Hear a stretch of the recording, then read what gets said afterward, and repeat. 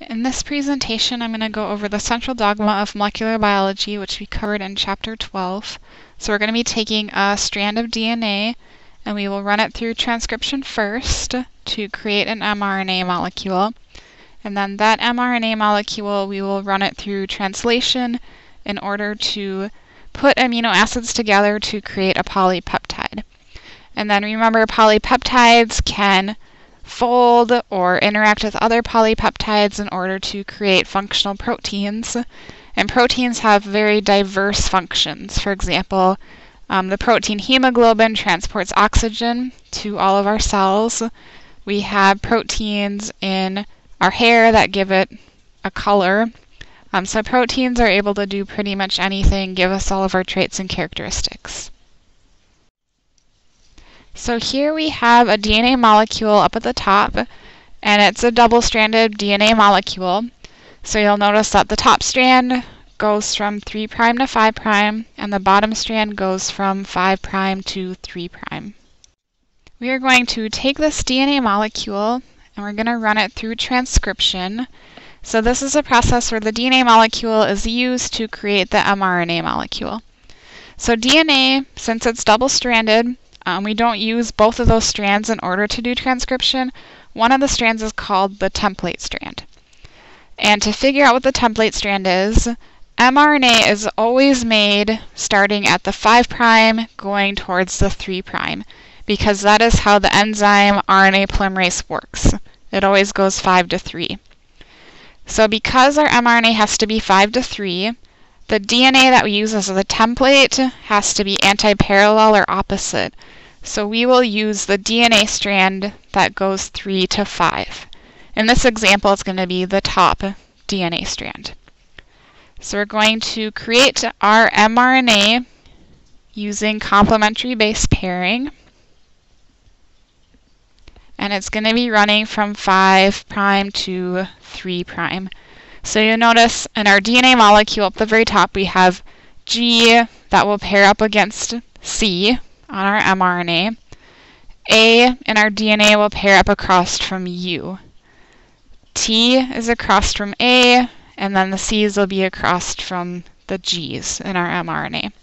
So the really important part, or the biggest mistake I see in this transcription um, sequence that happens first, taking our DNA, creating an mRNA, is that people forget to use the uracil.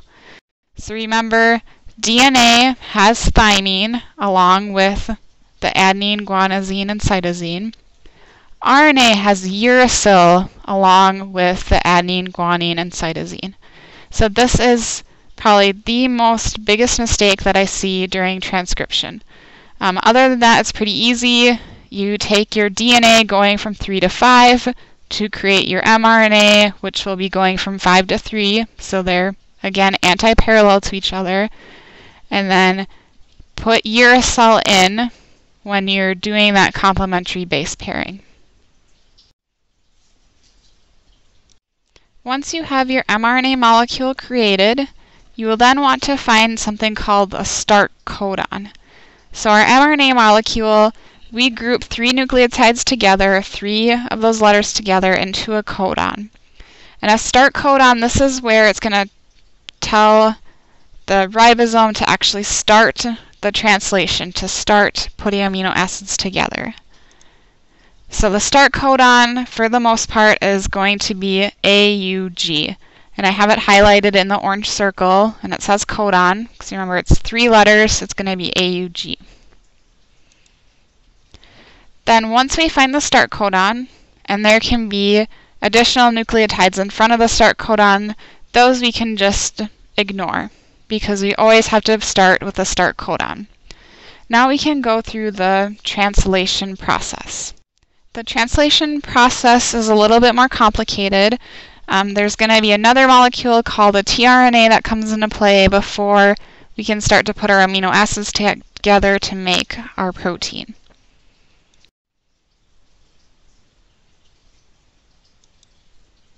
Alright, so what we have to do first is we highlighted our codon on our mRNA. We then need a tRNA molecule. And the T stands for transfer. So transfer RNA molecule It's just meant as an intermediate to help read the mRNA and to bring in the correct amino acid to make our polypeptide. So on our tRNA molecules, which I have represented with the little um, two blue triangles now at the bottom, on that tRNA there is a three sequence nucleotide sequence called the anticodon. So the anticodon is going to be complementary to our codon. So in this case, if our codon is AUG, the start codon, our anticodon on the tRNA is going to be UAC. So remember, we're making RNA, so we're still going to have uracil, and then A's and U's pair up, G's and C's will pair up with each other. Okay, so now we have our first tRNA molecule with the anticodon. In order to find out which amino acid the tRNA is actually bringing in, or what it's being put first, is we go back to our codon up on our mRNA molecule, the AUG, highlighted in the orange circle, and we're going to be using a genetic chart in order to decode our codons.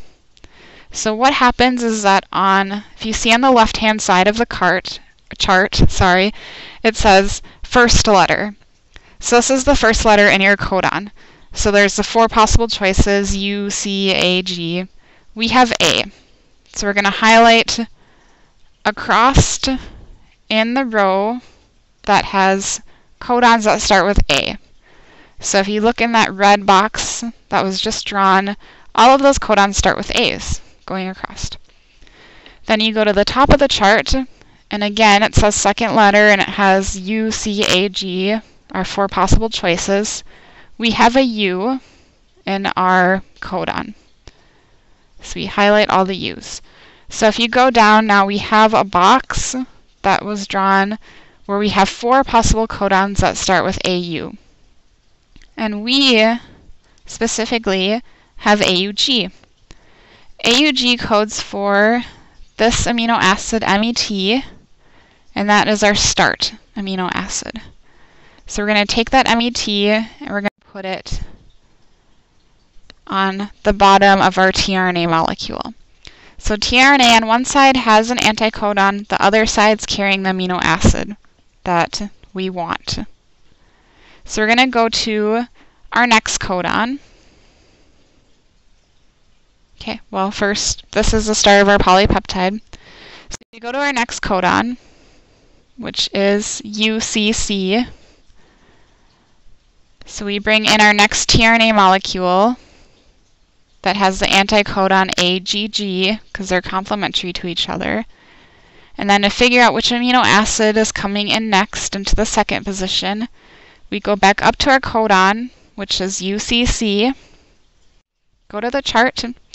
Our first letter, if we look on the left, is U.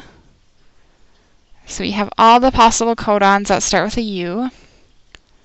Our second letter is a C, so we get down to a box where everything's UC. And then specifically we have UCC, and that codes for serine, so the SER. This is our second amino acid.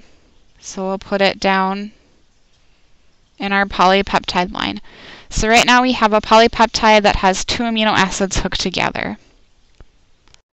So you just continue this onto your next codon. So let's do the next two codons.